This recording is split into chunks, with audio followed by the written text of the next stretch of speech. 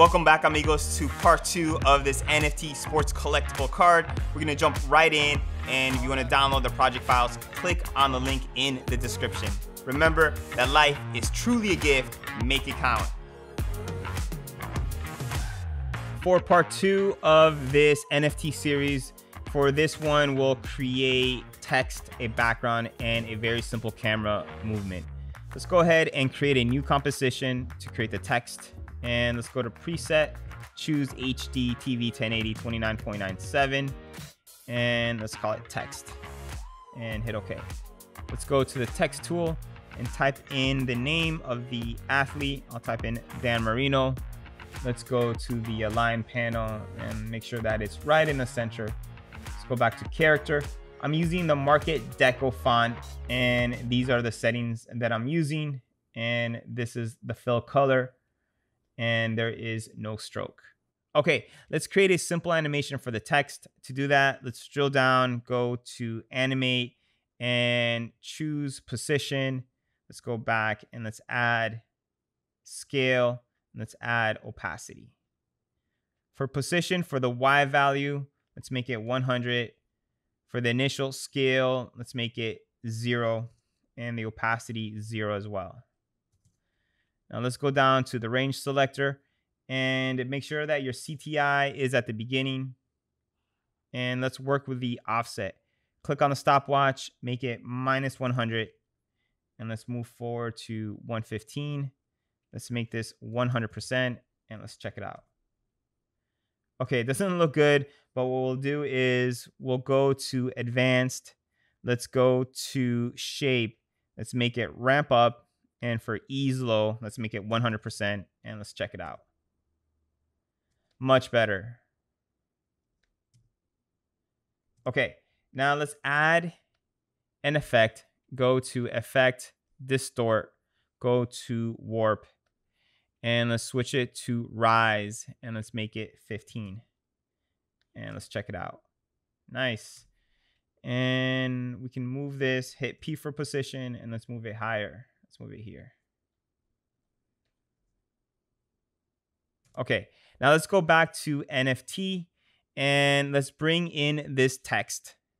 Let's make it a 3D layer. Let's switch our layout to two views. And this one is our top view. This is our active camera. And what we'll do is let's push it forward, hit P for position and make it minus 500. And we can push it down. We can scale it up, S for scale make it 125. Now, what we'll do is we'll make it 3D, but we'll fake the 3D by adding several layers back in Z-Space. And to do that, let me show you how to do that. Very simple. Select the text comp, Control D, Command D to make a copy. And this one, call it text copy. And in this copy, let's add an effect. Go to generate fill, and let's change the color. There we go. This is a good color. And what we'll do is we'll move it back in Z space, not that much, anywhere between 5 to 10 pixels. So this is at minus 500 for the Z. We'll make this minus 495. And let's make another copy. And this one, let's make it minus 490. Another copy, Control D. This one will be minus 485. Another copy, and this one make it minus 480 and one last copy. And this one make it minus 475 if i zoom in from the top you can see we have all these different copies. And we'll select these copies. And using the pick whip let's parent it to our main text. And let's switch it to one view and let's orbit so we can see it. And you can see that it looks 3d but we're faking this 3d what we can do is for the very first copy, select it. Let's add a glow. Go to stylize glow. And for the radius, let's bump it up to 75. And let's check it out.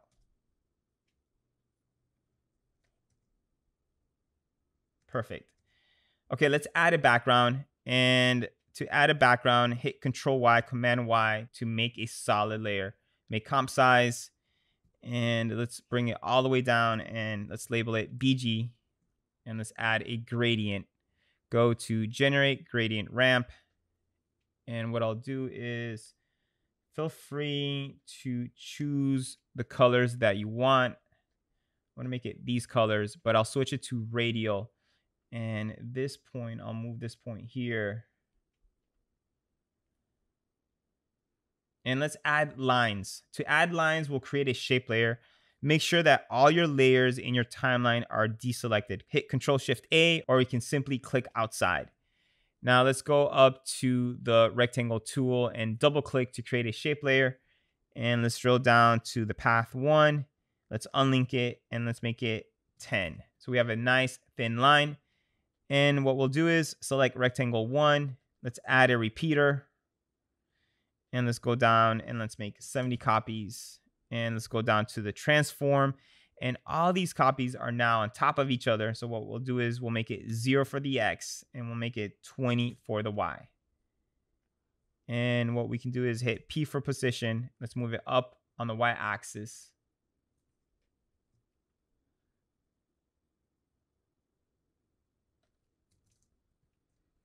And we can call this lines Let's put it on top of the BG.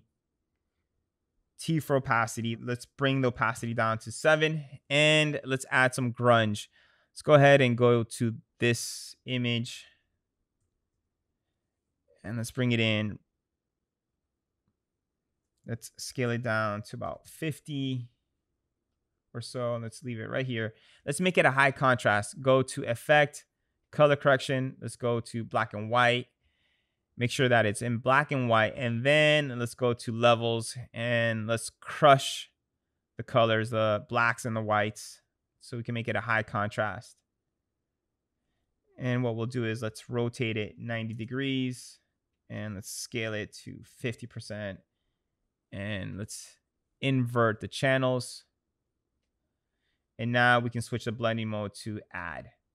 And let's call this grunge hit T for opacity, bump it down to 20. Let's create a camera, go to layer, new camera, choose the 50 millimeter preset. And what we'll do is go to layer, camera, create orbit null. Go back to the camera, hit P for position, and let's move this back, this camera back to about minus 3800. Go to the orbit null, hit R for rotation and move the CTI to the beginning. And what we can do is we can rotate this on the X and the Y. Put some keyframes. Let's go to five seconds. Let's go in the opposite direction. And then we can copy this, these first two keyframes, Control C, Command C, and let's paste it and then let's select these keyframes and F9 for easy ease. And let's check it out.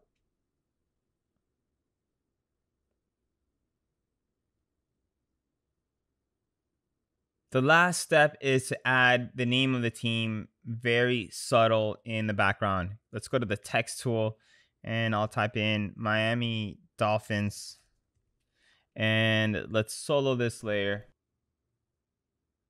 And what we'll do is go to layer, go down to create, create shapes from text. And we can delete the text and it created shape layers from our text. And let's drill down. And what we'll do is go to contents. Let's add a group and let's make this for Miami and let's add another group. This one will be for Dolphins. Let's grab all of the Miami letters and put it in the Miami folder. Same thing with Dolphins, and let's go to Dolphins. Now go to Contents, and what we'll do is we'll add a repeater. Go to Repeater. Let's make 13 copies. And let's go down to Transform for the repeater.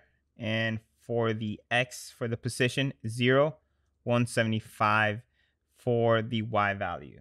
Now what we'll do is let's scale it down to 50 and let's move this up here.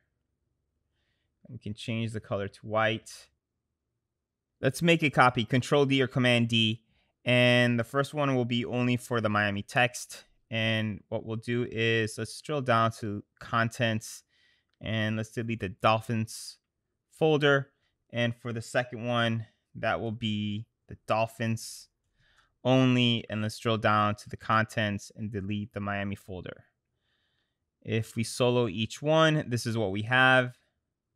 Now for Dolphins, let's take out the fill and let's give it a stroke of about eight pixels. And what we can do is we can animate this. Let's go ahead and hit P for position. What I'll do is let's separate the dimensions. You right click, separate dimensions, and let's just animate the Y position. So for Miami, let's add a keyframe here at zero. And actually, let's move this up a little bit. Let's go all the way to 10 and let's move this down like this. And then for Dolphins, let's go to the Y position, click on the stopwatch, and let's do the opposite. It's going up. So we have this little motion like this. This may be a little too much. Let's check it out. Okay, this looks good. You can tweak it. I'm going to leave it like this for now. What we'll do is hit T for opacity. Let's bring it down to about 15%.